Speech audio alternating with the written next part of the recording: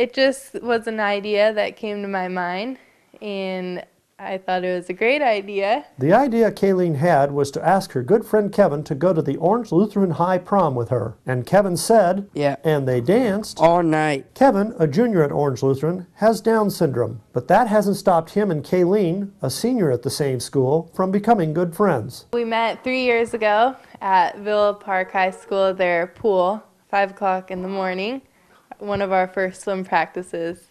I was in the pool and he came walking up and he jumped right in, and ever since then, we've clicked. And that friendship just kind of evolved um, over time. They hang out, they go to dinner, they go get yogurt after, um, they hang out at school together. Just like all proms, it took a while for Kayleen to get ready. Specifically, me, it probably took two hours just for hair and makeup. and a little less time for Kevin. About hour, half an hour. What did Kevin think when he saw Kayleen all dressed up? Coolest.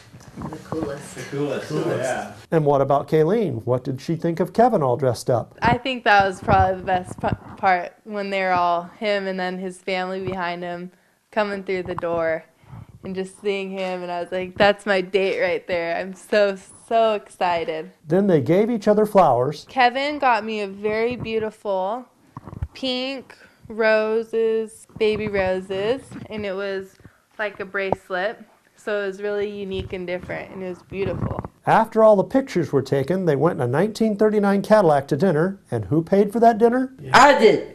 Yep, he did. Then it was on to the prom where Kevin showed off his dance moves. this. Oh, yeah. Yeah. Kevin demonstrated his dance moves for us. yeah. Everyone loves Kevin. Like, even when we got to the dance, it was all, "Hey, Kev, what's up?" So exciting to see it. Excited to see him. It's great that he has a great memory that he can live the rest of his life with. Mark Eades reporting for OCRegister.com.